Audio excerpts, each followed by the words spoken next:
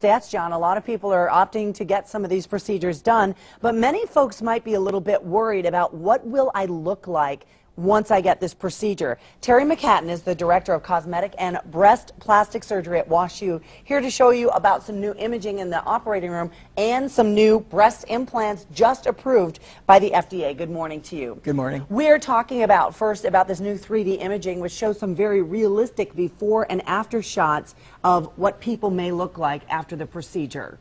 How has this helped you in the operating room? Well, it's helped tremendously. So the images are extremely realistic. Uh, they're taken by six cameras that take a picture simultaneously. Um, the way that it's helped us is to communicate with our patients. Mm -hmm. Really, mm-hmm. that's the biggest tool, an education and communication tool. Now we're seeing the before and after, and I know it can be done on pretty much um, any part of the body, the nose. In fact, here is a great example of the nose, and we see real images of these people, the before and after on the left and the right.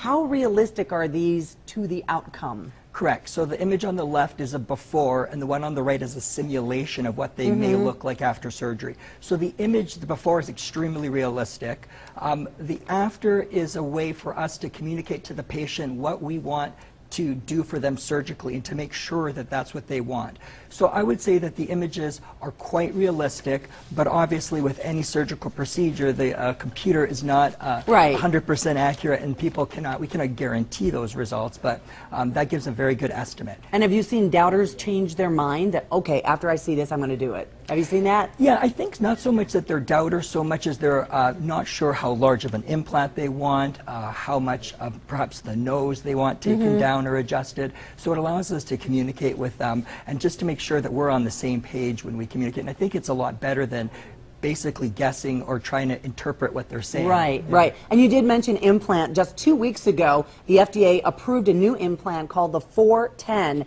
and it is different than what we're normally seeing or hearing about. I'm holding two of them right here, if we can maybe show on the camera. So those are the old ones. These there. are the yeah. old ones. This is the old silicone. This is the old saline, and you're holding the new ones that are, in yeah. fact, I felt one, and it's kind of like that memory foam.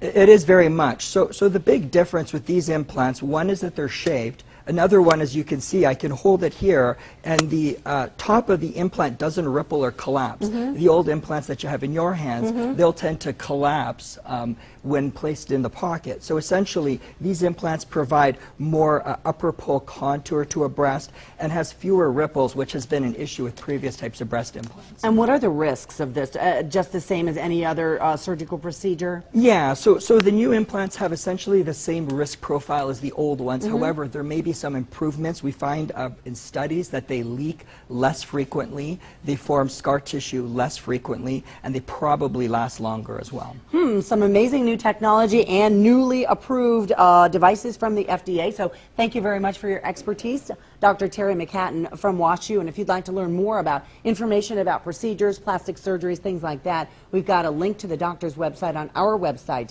at fox2now.com. Thank you, doctor. We thank you very much. It. I appreciate it. All right, Glenn.